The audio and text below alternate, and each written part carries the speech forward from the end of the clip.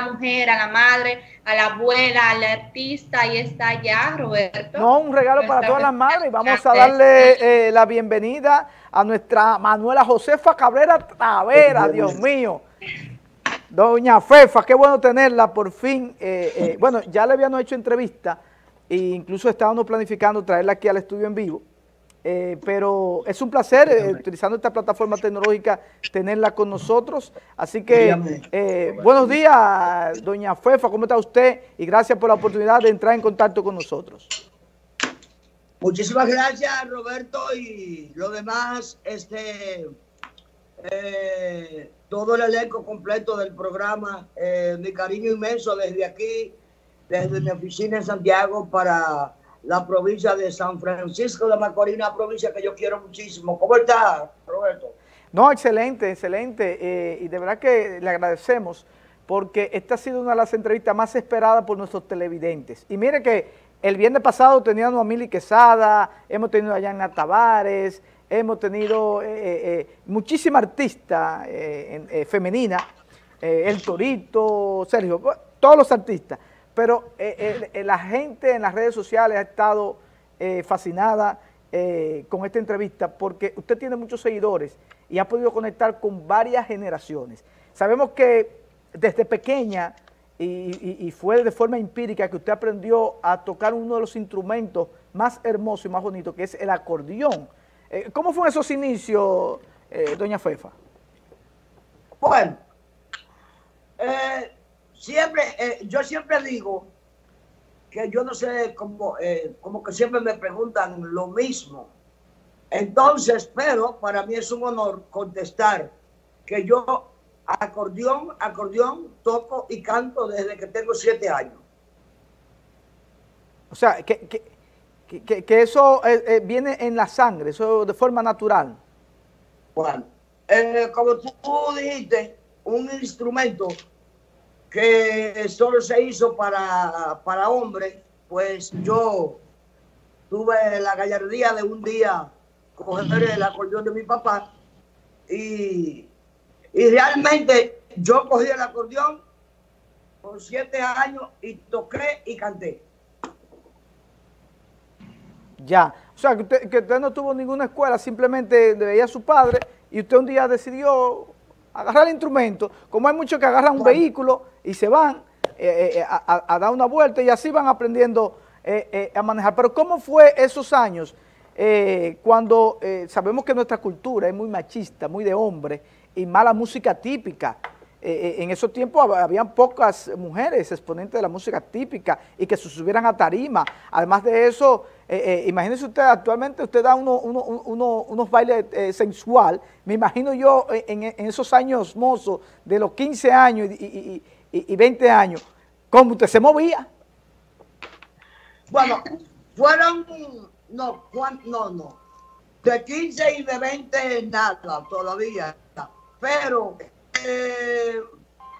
porque yo soy la, la, la vieja fefa desde muy niña, y, y sí tocaba, pero no, en la escuela decían, eh, la hija de Seito toca acordeón, pero eh, como tú entenderás, una muchacha de campo, eh, ¿cómo te digo?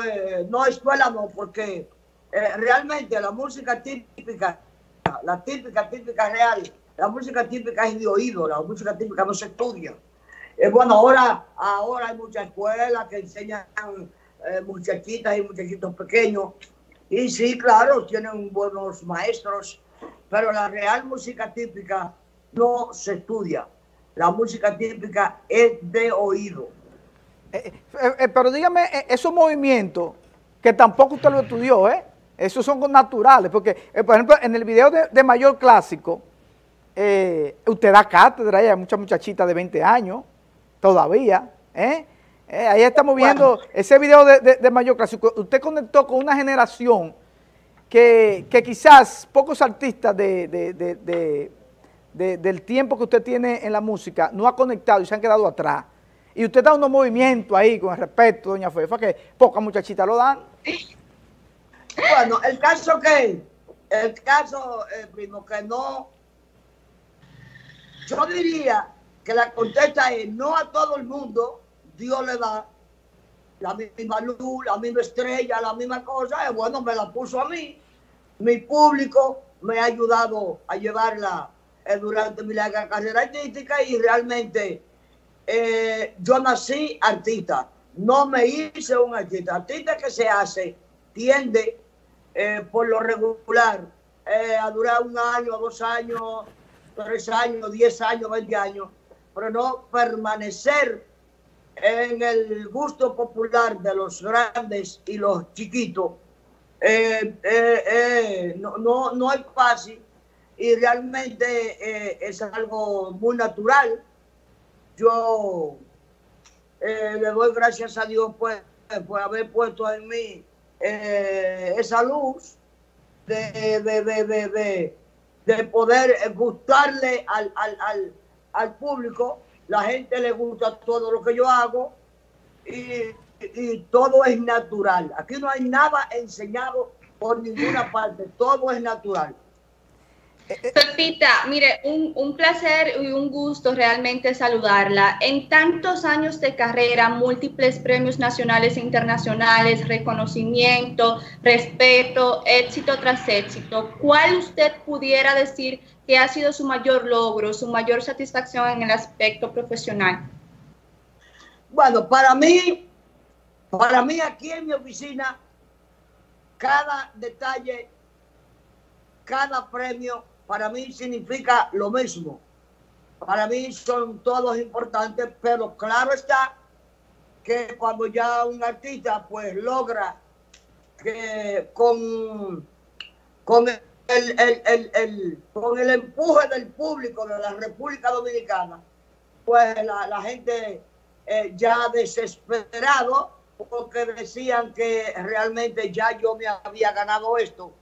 Eh, ya me el, premio soberano. El gran soberano que muchos estuvimos siempre eh, abogando, eh, porque usted estaba más que pasada y merecida. De hecho, eh, yo tuve el honor, yo sé que usted no lo recuerda, pero cuando le enseñé esta foto, ese señor director la tiene en cámara, yo tuve el honor de estar ahí, yo fui testigo de cuando a usted le entregaron el soberano, y aparte de eso, fui de los primeros medios, ahí estoy con su promotor artístico allá en los Estados Unidos, eh, cuando le entregan el premio, el Vidal, soberano. Vidal Cedeño, Vidal, Vidal Sí, mi hermano Vidal Cedeño. Mira, y estoy yo con usted. Y yo creo que estoy tan feliz como usted cuando le entregaron ese, ese gran soberano. Gracias, gracias, gracias. Ese soberano se celebró en, en, todo el país y el mundo, porque usted, eh, o sea, méritos y cualidades tiene de sobra para, para ya haberle entregado el gran soberano de, de los premios que se hacen aquí cada año, que lamentablemente este año eh, primero, que no fue por el asunto del COVID, sino por el mismo asunto de la Cervecería Nacional Dominicana, con su nueva reestructuración, y ya terminó de, fundir eh, eh, los soberanos de este año por el tema de la pandemia y el virus del COVID-19, que es lamentable, ¿no? Porque esta premiación es la que destaca, ¿no? A nuestros artistas dominicanos. Bueno, para nosotros, para nosotros los artistas, eh, ha sido muy lamentable, muy doloroso, porque nosotros en República Dominicana no tenemos más nada, solamente eh, los premios soberanos desde que comenzaron, eh, que eran los Casandra, después los soberanos, y, y, para nosotros hablo en nombre de todos. Es una, una, una pena y un dolor muy grande porque nosotros no tenemos otra cosa en República Dominicana que no sean los premios soberanos. Entonces, eh, no, no, no nos sentimos bien realmente porque es que, eh, imagínate tú, cuando tú en tu casa eh, tienes una costumbre de tomarte un café como me lo estoy tomando yo en este jarrito. Un café en jarro, como es pero no pichado. Que no había, no había tomado café hoy. Y que tú rápidamente pierdas esa esencia de que ya tú no te estás tomando ese café de ese jarrito, eso, le hace falta. aparte de que a mí, a mí como artista, realmente eh, los escenarios, el público, los aplausos, la gente, ok, si la gente siempre hace eco del nombre de Pepita la Grande, claro, y lo agradezco mucho en el alma.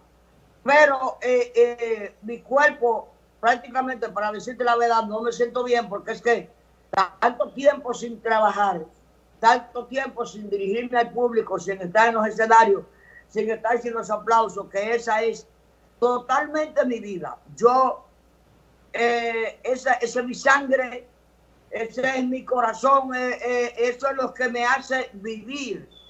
mi público que me ha seguido por tanto tiempo y, y de verdad eso me está haciendo mucha falta. Y yo pienso que también casi a todos los artistas le está haciendo falta el, el que no se celebraran en este año 2020 los premios soberanos. Eso es así. Eh, mire, aquí la gente escribiéndome, está Rita desde Rita López desde la ciudad de Nueva York, que está de fiesta de cumpleaños y también una madre que le mande eh, saludos, eh, nos dice por las redes sociales. Ay, Rita, felicidades, que Dios te bendiga, muchas bendiciones y feliz cumpleaños. Doña Fefa, estamos haciendo este programa precisamente para darle un toque de celebración de las madres. Lo hemos estado haciendo durante este mes de mayo por el tema de que como eh, eh, eh, este mes y, este año ha sido bastante golpeado con el tema del COVID-19, mucha gente no va a poder celebrar el Día de las Madres tradicionalmente como se hace. Pero quiero preguntarle, usted que es un artista de larga data, pero usted es una mujer como cualquier otro, usted tiene hijos, usted tiene su esposo actualmente, pero también tuvo una familia, ¿cómo usted se hacía desde tan joven, estar en los escenarios, tocando fiestas, y también ser madre y ama de casa? Explíqueme esa fórmula. Primero, eh, no, no, no, no, no, no tengo esposo. Yo tengo un novio que lo puedo decir públicamente porque él lo, él lo hizo público. Ah, pero usted, usted, usted no se casó los otros días. No, yo no me he casado todavía. Ah, no, ah, fue el cumpleaños suyo. Eh, bueno, en el cumpleaños fue que él me... le pidió, le pidió, eh, le pidió ahí está la imagen cuando en su cumpleaños, que le agradezco que usted me invitara, eh, y Domínguez Producio, un saludo para él, me invitó también, pero no pude asistir, y ahí fue la sorpresa que su novio le declaró y le dijo que quería casarse ya con usted formalmente. Bueno, ahí fue que me dio el anillo, ahí fue que me dio el anillo y me pidió matrimonio. Eh, no me he casado todavía. Eh, lo de madre, yo sí, cuando yo todo, el, yo, yo, yo todo el tiempo he sido la vieja perro, como te dije antes. Yo creo que se fue la conexión, creo yo. No, no, estamos en línea, la estamos escuchando. Tú me estás escuchando porque yo no. Sí, la, estoy escuchando y la estamos viendo. Está muy bien la conexión. Ah, bueno, ah, ok, ok. Sí. Ya, eh, ya Domingo arregló. Este, eh, sí, yo tuve mis hijos muy joven. Sí. A Dios la gracia. Yo crié mis seis hijos. Eh, yo tengo, ahora me quedan cinco porque también todo el mundo sabe que Papá Dios me llevó a mi primera hija. Sí. Y me quedan cinco. La Rafaelito, Raulito, Julio César, Areli e Ibelice y eh, tuve mis hijos jóvenes, crié mis hijos, y cuando ya, cuando ya me pusieron el nombre, que creo que tenía como, eh, tenía que tener como 21 años, algo así, y, eh, pero ya tenía mi primera hija, la que se me murió, y no tenía grupo ni nada, nada más decían, la ISIto, la vieja fue para tocar acordeón, que yo que tuve, la gente decía cosas, pero eh, un día me decidí y dije, bueno, si Dios me ha mandado un talento, y aunque yo no soy una persona universitaria ni, soy estudiada, pero un poquito inteligente, eh, ¿por qué yo no aprovechar esto? Cuando yo veía que la gente me miraba mucho, eh, me, yo decía, ¿por qué la gente me mira tanto? Esto? Pero ya entendía que era porque yo tocaba acordeón. Una muchacha de campo inocente totalmente de todo. Una gente de campo inocente totalmente. Y delgadita, tú eras delgadita. Un día me decidí y hice un grupo con unos muchachos de Monción y, y, cuando yo salí al aire, eh, aquello yo no te lo puedo explicar porque fue algo, bueno, para el mundo fue algo demasiado grande porque una mujer tocando cayón y óyeme, déjame decirte, modesta y aparte, no te voy a decir que ahora porque eh, como deben de entender todos, no es igual 40, 45, 50 años atrás que ahora. Pero yo te voy a decir una cosa, yo cantaba, yo cantaba bueno. La gente... No, no, usted canta bueno. Todavía. Usted canta bueno, la, la fiesta de ustedes se goza todavía. La gente lo que le gusta es que Pepita va a la boca en ese micrófono. Se lo agradezco mucho. Y sí, crié mis hijos eh, muy joven. Eh, luego mis hijos fueron creciendo, algunos se quisieron para los Estados Unidos, que a propósito de ellos, todo vive en Estados Unidos, y mis nietos también. Y mi bisnieto, para que no coman bola, yo soy una mujer que tengo tres bisnietos, mi amor, pero una cosa. no, yo, mira, eh, eh, eh, usted ha sido privilegiada, hija de Dios, doña Fefa, déjeme decirle. Estoy feliz, feliz de la vida, porque yo me siento una mujer totalmente bien, sin ningún problema. Yo soy una mujer que me siento totalmente, yo soy una mujer que, que me mantengo muy joven, porque yo no sé por qué que a las mujeres se les coge por decir que están viejas. ¿Qué es eso? Doña, doña Fefa. Mira, Roberto, por aquí me mandan un mensaje, Nalda, Nalda Guzmán, diciéndole que el look de su cabello le queda súper bonito. Usted siempre adaptándose a los tiempos. muchísimas gracias. Cuando, primo, como me hablaste de, de las madres, me parece que el Día de las Madres es todos los días. Sí. Pero sí, tenemos un día muy especial aquí en República Dominicana, que es el, último domingo de mayo. Es lamentable que no se va a poder hacer celebración porque eh, esta pandemia que anda, pues, ha parado totalmente el mundo. Eh, estamos sin trabajar, estamos todos en casita. Eh, realmente se nos fue un ícono, una gloria de este país que fue Bartolo Alvarado del Cieguito en Agua, el que no hemos podido ni siquiera darle cristiano sepultura a la ceniza porque no la han podido traer de los Estados Unidos y del que, aunque pasen los años, el dolor siempre va a estar porque eh, realmente yo creo que sí, el país sabe a quién perdimos. Entonces, eh, eh, ¿cómo te digo? Hay, muchos dolores juntos eh, el Día de las Madres, eh, hay muchas madres que no lo van a poder pasar con sus hijos. Eh, en el caso mío, porque no pueden venir. Y aunque no acostumbran a venir todos los años, pero por lo menos que sea uno o dos vienen. O yo voy a los Estados Unidos. Pero nada, aquí estamos con la gracia de Papa Dios que nos proteja y nos ilumine el camino y que volvamos abrazarnos. Amén, amén. Eh, eh, eh, doña Fefa, pero ese nombre de, la vieja Fefa, siendo usted una muchachita joven, que, que, usted se ve todavía, que en esos años paraba, paraba el tráfico. Aunque usted lo para también, usted tiene muchos muchos admiradores, yo sé que tiene muchos admiradores, pero ¿por qué? ¿De dónde viene la vieja Fefa? Bueno, desde muy niña que ni soñaba ser señorita ni soñaba ser señorita. Tatico Enríquez, ido a destiempo. Eh, la gloria, de, del merengue Que no pudimos disfrutar del arte y, y, el, el, el, artistaje que yo me tenía. Yo era un gran artista. Y me puso desde muy niña, me puso la vieja Cuando ahí le dijeron en Nagua que había una muchachita que tocaba acordeón en, en, San José, en Santiago Rodríguez. Entonces yo ando pues que ya conocer la viejeta, la vieja fuerza, la vieja fuerza, y Tatico me puso la vieja fuerza desde niña y aquí estamos. O sea que, que, yo creo que ese monte la, ha mantenido usted eh, con un espíritu, como usted dice, eh, siempre joven, porque usted, como decía, eh, ahorita antes de la entrevista, usted se ha adaptado a los tiempos. Por ejemplo, eh, yo veo que usted está muy activa con sus redes sociales, usted se conecta, los otros días estaba conectada en un live con Don Miguelo. O sea, usted, usted es una cosa tremenda. ¡Pero una cosa!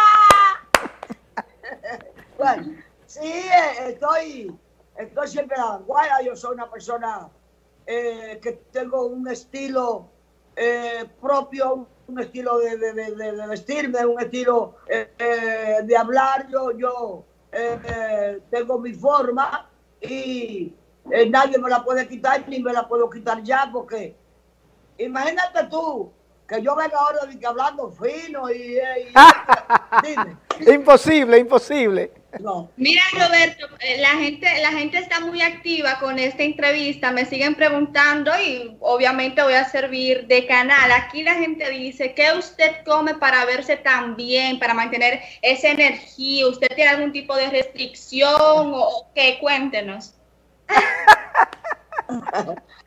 bueno, no, si supiera que no, yo, yo, yo como de todo.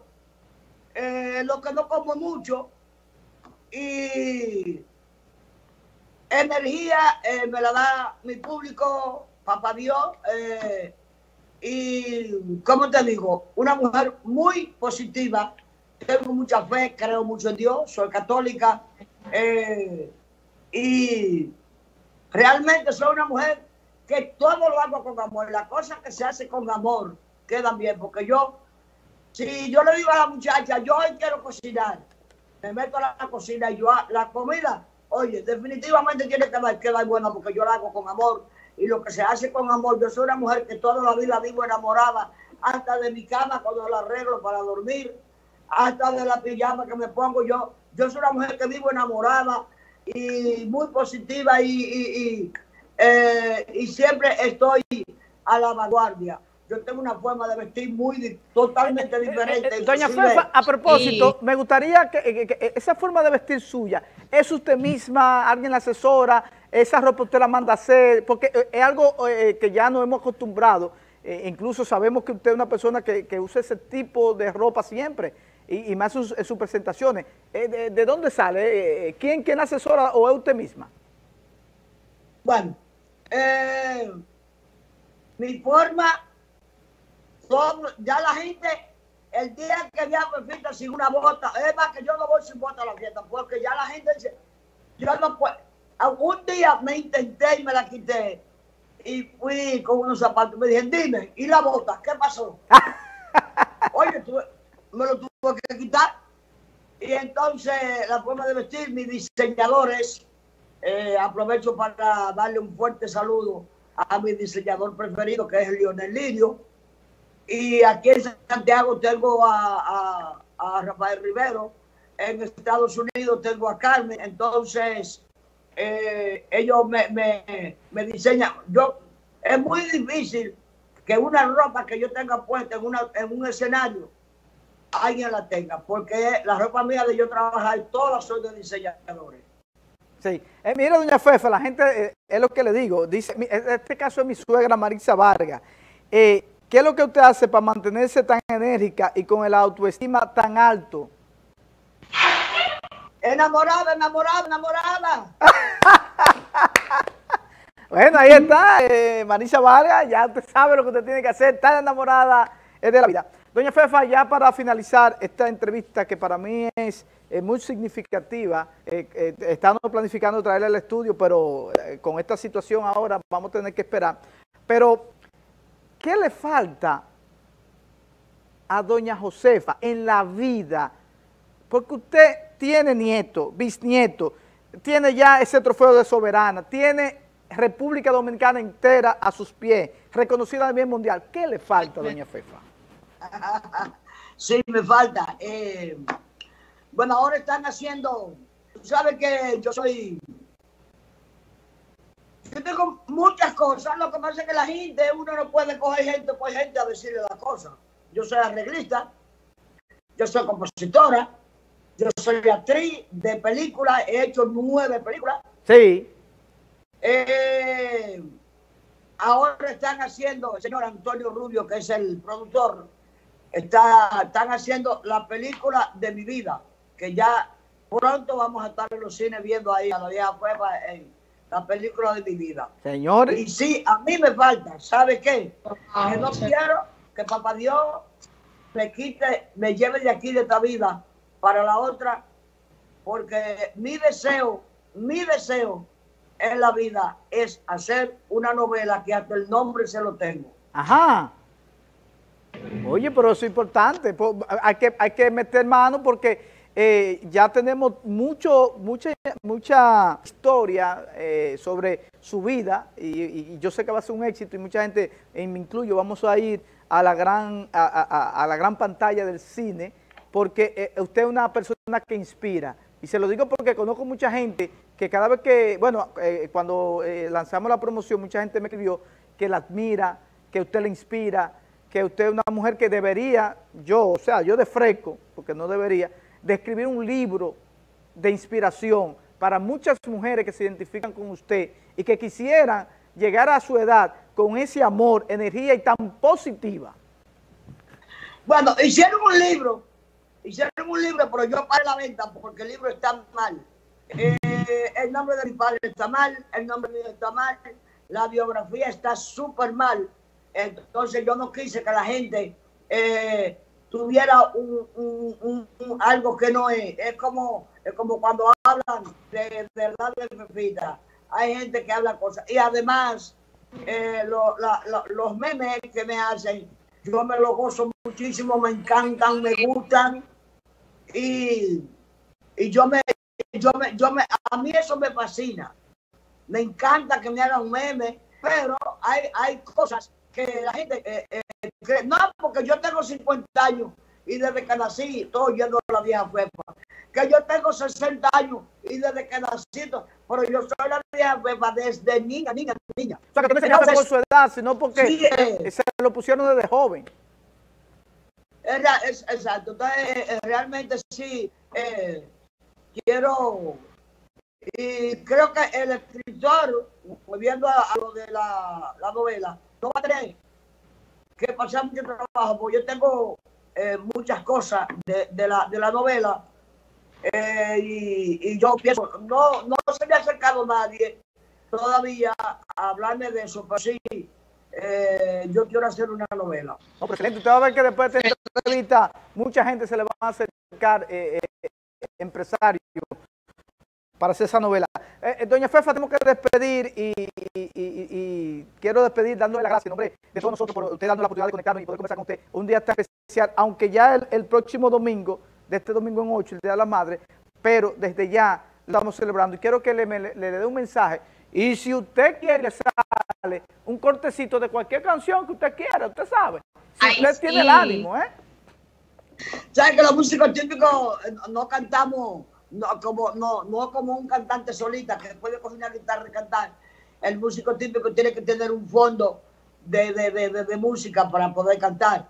Pero sí, eh, desde ya, eh, muchas felicidades a todas las madres, el que la tenga, que la cuide, porque eh, es muy duro y es muy grande perder a una madre. Yo creo que lo he perdido, ya yo he pasado por todos los dolores, pedí mi papá, pedí mi mamá, pedí mi hija, y soy una muy luchadora, he trabajado mucho, he sido una mujer muy enferma, yo soy sobreviviente de cáncer y, y, aquí estamos para adelante, así que mujeres para adelante y, la clave para no verse vieja, verse bella, así como yo siempre.